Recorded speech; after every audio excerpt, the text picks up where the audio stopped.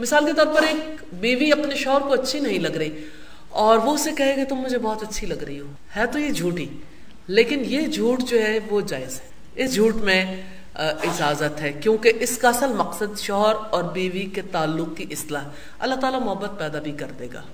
बीवी से झूठ बोलना जायज़ है, लेकिन कब तक? अता बिन यसार कहते कि एक आदमी नबी करीम के पास आया, कहा, अल्लाह के रसूल, क्या अपनी बीवी के साथ झूठ बोलने में गुना है? आपने फरमाया, झूठ नहीं बोलना अल्लाह ताला, झूठ को पसंद नहीं करता। उसने कहा, अल्लाह के रसूल, मैं झूठ बोलकर उससे सुलह चाहता हूँ और उसके नफ्स को खुश करना चाहता हूँ। आपने फरमाया, फिर कोई गुनाह नहीं है। तो अल्लाह ताला झूठ को पसंद नहीं करता, ये हदीस से पता चलता है क्योंकि झूठ कबीरा गुना है। लेकिन शौहर और बीवी के दरमियान सुलह के लिए खा कोई और कर रहा हो या शौहर बीवी खुद कर रहे हो, ऐसा झूठ बोलना जायज़ हो जाता है। लेकिन याद रखिएगा, सिर्फ़ सुलह के लिए।